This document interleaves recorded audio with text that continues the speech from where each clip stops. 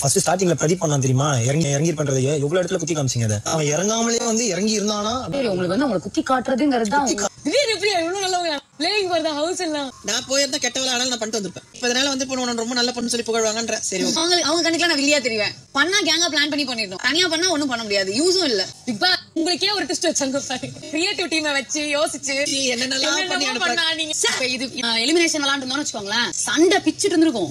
Four five hours வேற level சண்டை. இவங்க எல்லாம் சரிப்பட்டே வர நான் நம்பினேன் நீ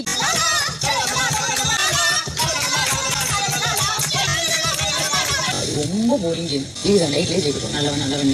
இன்ட்ரெஸ்டிங்காவே இல்லாத ஒரு கேம் இந்த சீசன் கேம் மாறிடுச்சு எல்லாம். அதே சீசன் தான் இல்ல. என்னடா அப்படி முதுகுல குத்திட்டீங்கல்ல குத்தி விட்டீர்கள் கொஞ்சம் சீக்கிரம் அவங்கள ஜெயிலுக்கு அனுப்பி போக முடியல. அதனால நாங்க ஜெயிலுக்கு போக முடியாது. ஒன்னா சேர்ந்து பர்சனலா பண்ணிருக்கீங்க இன்னைக்கு. சித்ரா பார்ட் டூ பார்க்க போறீங்க இப்ப அங்க இருந்து ஸ்மால் ஹவுஸ் நான் அவங்கள விட போறது இல்ல அங்க இருந்து எந்திரிச்சா நேரம் ஜெயில் தான். ஹவுஸ் யாரா இருந்தாலும் உள்ள விடாதீங்க. யாரு? செட்டிங்கா? அர்ச்சனாவும் விசித்ராவும் சேர்ந்து மாஸ் பண்றாங்கன்னு நினைக்கிறவங்க வீடியோ கிளிக் பண்ணி தெரிய வைங்க தினேஷ் மட்டும் இந்த ரெண்டு வாரம் நாமினேஷன்ல வராம தப்பிச்சிட்டாரு அப்படின்னா கண்டிப்பா எழுதி வச்சுக்கோங்க. அவர் ஃபைனலிஸ்ட் அப்படின்னு சொல்லி மாயா பூர்ணிமா கிட்ட சொல்லிட்டு இருப்பாங்க. அடுத்த ரெண்டு வாரம் தினேஷ் நாமினேஷன்ல வந்தாருன்னா எலிமினேட் ஆயிடுவாரு. எப்படியாவது நாமினேஷன்ல கொண்டுட்டு வரணும். இல்லைன்னா அவர் கண்டிப்பா ஃபைனலிஸ்ட்னு சொல்லிட்டு இருப்பாங்க.